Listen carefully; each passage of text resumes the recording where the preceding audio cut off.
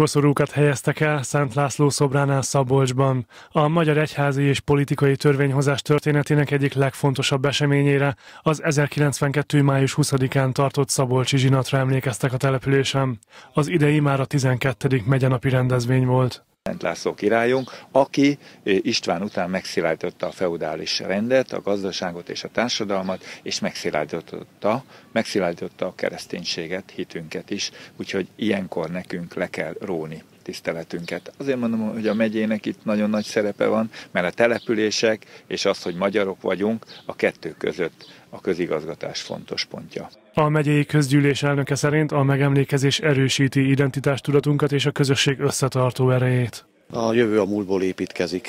Ugyan nem garancia a múlt a jövőre, de akkor is ez egy fontos kiindulási pontja a jövőépítésnek, a jövőt pedig a jelenbe építjük. Tehát azzal, hogy mit tudunk minden nap tenni közösségünkért, családunkért, nemzetünkért, megyénkért, az minősít valamennyünket külön-külön személyenként, egyenként, illetve közösségként is, és hát ez szolgálja a megmaradást. Biztos vagyok benne, hogy minden ilyen alkalom, mint ez a megyenapi ünnepség, hozzájárul ez az építkezéshez, és lélekben megerősít bennünket. A megemlékezés után átadták a település legutóbb felújított útszakaszát. A beruházás összesen 8 millió forintba került, amelyet a község önkormányzata finanszírozott. Szabolcs településen van még néhány olyan útszakasz, amely nincs szilárd burkolattal ellátva. Ezek közé tartozott ez a mostani, ami közel 300 méter hosszú útfelület. Gyakorlatilag ezzel már régen tartozunk az itteni lakosoknak. Egyrészt azért, mert az eddigi útfelület az kátyus volt és nehezen járható volt, főleg téli időszakban.